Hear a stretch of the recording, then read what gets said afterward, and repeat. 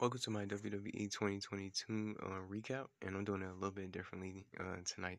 I wanted to move this around so you guys can be able to see some of the notes and um, some of the things that went on tonight as far as the event.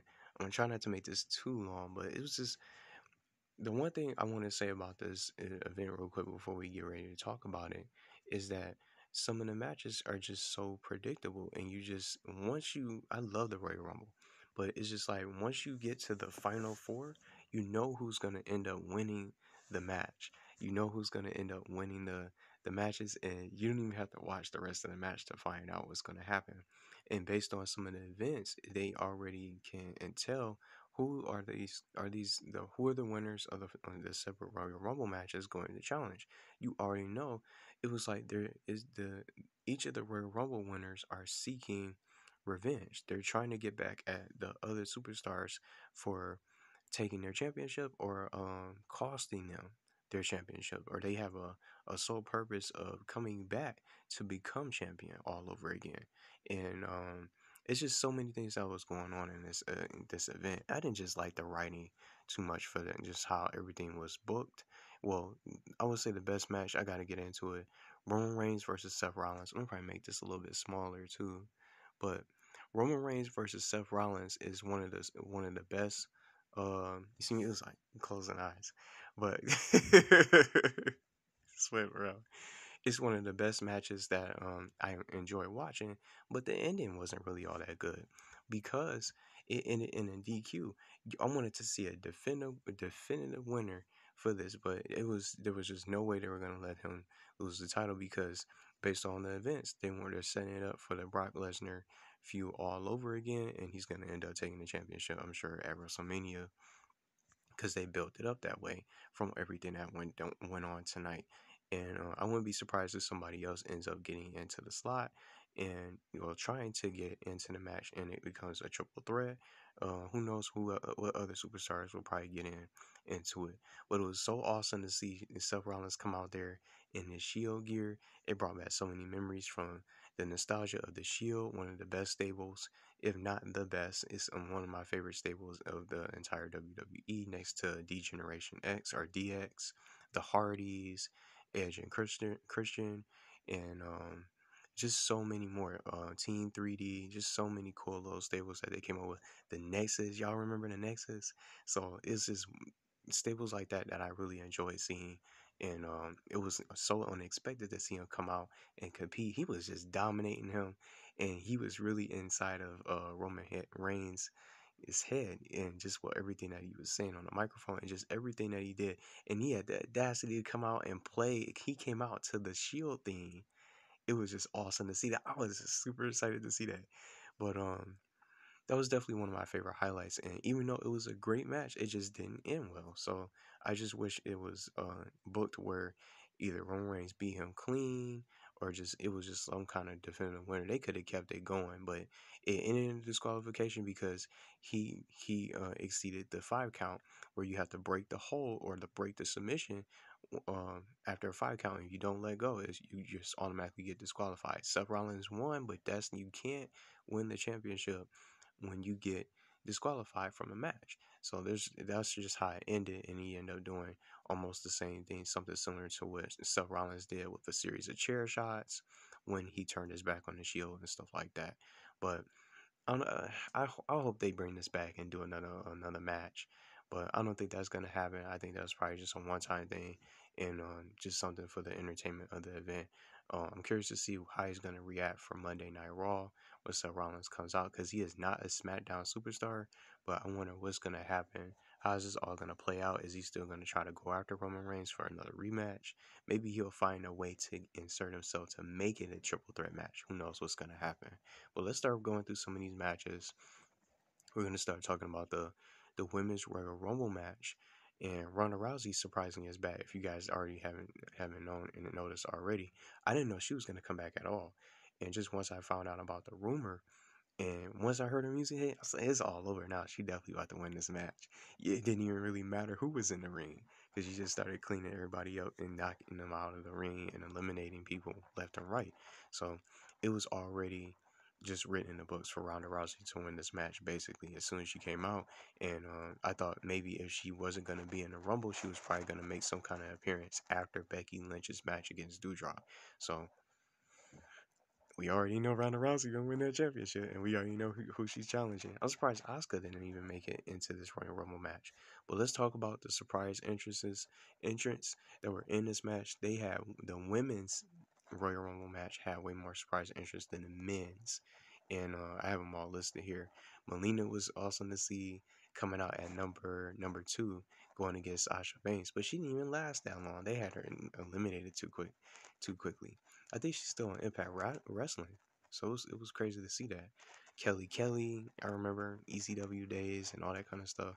And just from the old Attitude Era, Michelle McCool and uh, the WWE official herself, Sonya Deville, came out, but she didn't really compete right away. She went to the announce table to do some little commentary, and um, it was scripted because she was supposed to wait till um, Naomi was coming, wait for Naomi to come out in the Royal Rumble to try to eliminate her. But what was crazy is funny because right under Sonya Deville, we have Cameron from the Funkadactyls that you guys probably don't remember. The Funkadactyls was um was a tag team, a tag team stable, and it was Naomi. Uh, well, Cameron was is Naomi's former tag team partner, and they also had this guy called Brodus Clay who was doing a little dance and stuff like that. He did the little dance moves, so it was cool to see that. But um, Cameron, I think, was the most least expected. It's like, is she back now all of a sudden? Maybe she's gonna form a bond with uh, Naomi. I wonder if she's gonna be back on uh, Friday Night SmackDown. Maybe this was just for just for the a surprise entrance, just to have them in the match to fill that slot. And I just feel like they have so much talent and all these different celebrities that's coming out there taking these slots and legends and stuff. We don't need too many legends. We have the nostalgia is there to see these legends and all. I get that, but you guys have a lot of talent in the back, and you guys are not utilizing the talent. You just having to sit there. They just be in the back. They don't have any matches. They don't have any matches and get to compete, and that's why they get end up getting a release. They've done so many releases so far with this company, and they moved on, and that's why they're shining bright over on AEW. And I hope some of these other superstars do that as well because it, it gets it gets insane just seeing all these these these superstars just that's all this talent and they're just not even being used and they're not getting the opportunities that they deserve to be champions and be great champions and good competitors or at least go out there and compete and try to earn some kind of opportunity. It's crazy. But Cameron from the Funkadactyls that was just something different. So uh, I was gonna say Naomi eliminated her. Sonya Deville eliminated Cameron, and immediately after that, Naomi came out to eliminate uh, Sonya Deville. So I think they're gonna probably renew that rivalry more than likely. Somebody that I didn't really know too much about, Ivory. I'm guessing she's a, a legend, but uh, she got eliminated by uh, Rhea Ripley when she was trying to come out on the microphone. I don't remember her. But Mickie James from Impact Wrestling, she even had she even brought over the championship uh, the Impact Wrestling Championship. She's the women's champion over there on the show. I don't even watch Impact Wrestling, but Alicia Fox was another entrant. The Bella twins, you had Brie and Nikki Bella. Brie Bella was in the match longer than Nikki Bella, so she's still pretty good. Um, I don't know. Maybe she can go to AEW too. But uh, Lita was cool to see. She still has uh, some talent. She could still be competing if she wants to. But I'm surprised Trish Stratus didn't even make it. I thought maybe if they had, if Lita was in this Rumble, Trish Stratus Trish Stratus would be in this match, but she didn't. But we got Summer Rae, you got Mighty Holly or Molly Holly, who got eliminated by uh Nikki, almost a, a superhero, well, who took her cape off and just threw out of the ring, stuff like that, start dominating. And then, last but not least, we have Ronda Rousey as our uh, surprise entrant or our last one. And once she came out, I just knew she was going to end up winning. So we already know she's going to challenge Becky Lynch and um, get her revenge at WrestleMania and snag the title. And Becky's, I'm, I'm unbeaten. I'm, I'm undefeated. I've beaten everybody. And uh, I shut them all down. And, and, speaking of shutting people down, she already beat. She ended up eating, ended up retaining her championship against Doudrop. So the manhandle slam, I'm say this. The manhandle slam is the rock bottom. It's the it's the rock bottom, but a different name. That's what it is, and that's exactly how she beat Doudrop is from a manhandle slam from the top of the turnbuckle. How else was she gonna end up winning? Unless she was probably gonna cheat. I don't know, but they had to give her some kind of cool little finisher to make it a, a, a good a good win or a good victory for over Doudrop. But um, let's just move on to the next match. So she's definitely gonna get challenged by Ronda Rousey. She she's she's not going over to SmackDown to Charlotte It's to Charlotte. Someone else is gonna challenge Charlotte. It's probably gonna be Sasha Banks more than likely. I'm thinking if it's not Sasha, it's probably gonna be a returning Bayley. More than likely, prior to WrestleMania, she might end up coming out and returning for the in time for the Elimination Chamber. Who knows what's gonna happen? But I think it's probably gonna be Sasha and Bayley, or Sasha or Bayley or maybe Aliyah, maybe possibly probably get a chance to uh, shine and get a championship run. And uh, Toni Storm, she's already gone. I thought she was gonna probably get a championship run. But um, let's get to the next one. We got the WWE Championship, Brock Lesnar and, and, and Bobby Lashley. I thought Bobby Lashley was gonna um was was gonna lose, but once I saw Roman Reigns come out, and Paul Heyman betraying uh, Brock Lesnar, handing him the championship. He handed Roman Reigns the WWE championship and knocked him down. It was it was crazy to see. It's like they just they just reunited and they just made up as far as uh, the bond and the connection. But I think when they had that altercation, I think at the same time Paul Heyman was also just torn on who he wants to uh, stay with, the tribal chief or um, the beast incarnate. But it, it makes it obvious that he wants to stay with Roman Reigns, and now he's gonna have the Usos and Paul Heyman all back in his corner. But now, you know, things change later on in the night, so it's just gonna be all over again for WrestleMania for him to get his uh, redemption. But Bobby Lashley becoming WWE champion is definitely deserved. I would like to see him have a decent title run, but maybe somebody else is probably going to end up challenging him and taking that away. I'm not sure who's gonna who's gonna be next to challenge him for that championship. But Bobby Lashley deserves it, and uh, Brock Lesnar in the just be open. He wasn't even supposed to be the WWE champion in the first place. Big E Langston was supposed to be the, the guy who's still holding the championship because he was supposed to retain originally prior to the Royal Rumble. He was supposed to retain his championship at day one, but things changed. Brock Lesnar had was originally scheduled to take the title away from Roman Reigns at day one, but things changed, so they just prolonged it. So instead of losing it at day one, and, and tonight or at Royal Rumble, he's gonna lose it at the Royal. At, I was gonna say at the Royal Rumble, at the at WrestleMania, since he ended up winning the Royal Rumble match. But let's go, go ahead and scroll through and start talking about the other matches to wrap up, because uh, Bobby Lashley is our new champion now. So I'm curious to see who's gonna be uh, our next uh, contenders for these other champions. Maybe some other competitors will probably find a way to get into the match. Maybe. Uh, how are they gonna? How's the elimination chamber gonna work?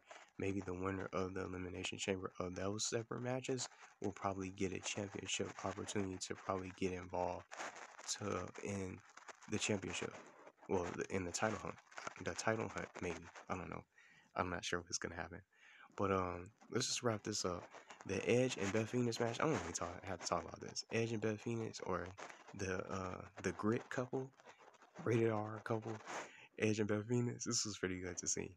Was for a mixed tag team match, taking on the Miz and Maryse. So Edge and Beth Phoenix obviously was gonna win. So that's not even a really it doesn't even take any thought. You didn't even have to watch the match itself to even understand what's gonna happen there.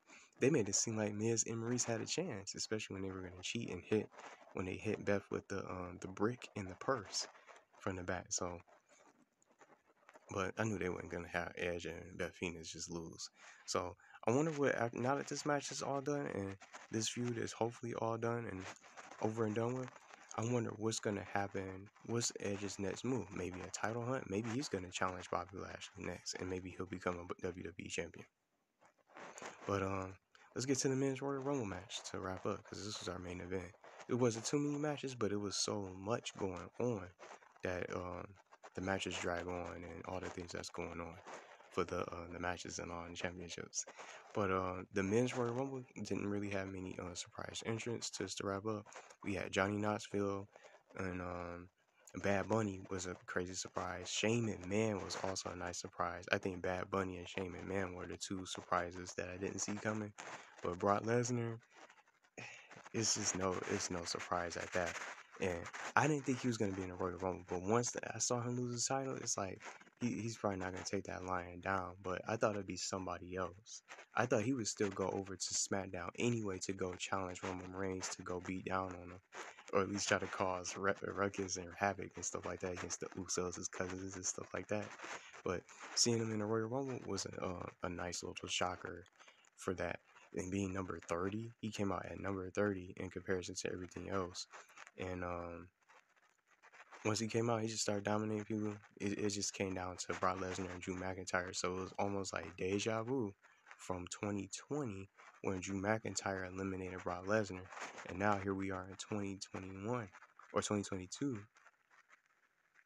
And he ended up um, getting revenge and eliminating Drew McIntyre to crush his WrestleMania, uh, his crush his WrestleMania dreams and his championship uh, title hunt opportunities or potential chance. But that was it. So it, it's just things like this that I didn't really want to see. I didn't want to see Brock Lesnar win the Royal Rumble. I was hoping to see AJ Styles win. It sucks that he got elim- eliminated. I wanted to see AJ, maybe Ricochet, just somebody that's different that can get a chance to win. And when they have championships, champions in the Royal Rumble match, like Intercontinental Champion Shinsuke Nakamura and Damian Priest, the United States Champion, they're just there to fill the slot. They're not gonna win, you know. So they can have all these other deserving superstars. Cesaro what didn't even have a Rumble match. He wasn't even Cesaro wasn't even in the match, so he was probably injured from the uh, the previous tag match from Friday Night SmackDown. See what I'm saying? Those other superstars could have been in the match, like him and maybe some others. But after releasing so many superstars, you're you're just running out of ideas. You're running out of ideas at some point, and you don't know what to do with these superstars, so you gotta let them go. So, because they don't know what to do with them, and they're just they're just gonna be utilized. I hope they get utilized right on AEW. And just with all these superstars that are just gone now, Samoa Joe and all the other ones, you won't see those superstars anymore and uh, they're just gonna continue to run short on the matches and continue to promote the same superstars. Hopefully not, but Ronda Rousey, she's winning at WrestleMania. Brock Lesnar, he's gonna win at WrestleMania. So they're all gonna get, they're both gonna get their redemption runs and be able to secure those championships. So you don't really have to watch the matches to see and understand what was going on. They put, they set everything up for a reason. They were gonna have Bobby Lashley beat Brock Lesnar, he was going to end up he was going to win the match anyway. So they had set it up. Let's have somebody come out. Let's have Roman Reigns come out and interfere to build that that feud up and make it even more spicier. That and have Paul Heyman betray his own client to go back to the tribal chief to renew that relationship and then it builds up so much hype and so many questions of what's going to happen next. Who's he going to challenge? What's going to happen? And then with Seth Rollins, not with that unfinished match and ending in a DQ, let's go back up.